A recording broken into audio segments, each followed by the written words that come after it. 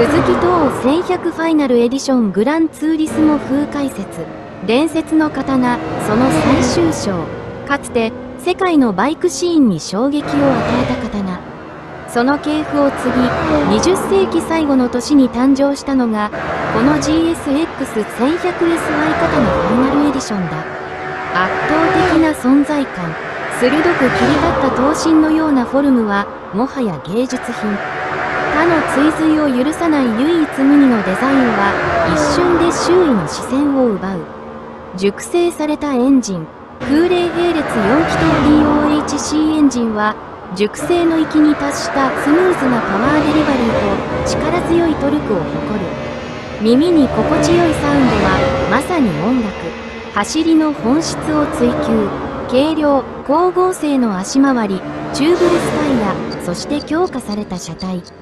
これら全てがライダーの意のままに操れる軽快なハンドリングを実現。特別な存在。限定1100台の生産。シリアルナンバープレート。そしてゴールドのパーツがこのモデルの特別感を際立たせる。スペック。エンジン。空冷並列。4気筒 DOHC4 バルブ 1074cc 最高出力。95PS8500rpm 最大トルク 8.6kgm4000rpm 車重 232kg 乾燥タイヤサイズ F イコール 3.5019R イコール4.5017まとめ GSX1100SY 刀ファイナルエディションは単なるバイクではない。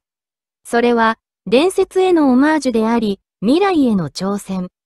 そのスタイリング、性能、そして希少性はコレクター心をくすぐるに十分だろう。グランツーリスモ風キャッチコピー例。時の流れに抗い、伝説は永遠に。刀の魂、ここに凝縮。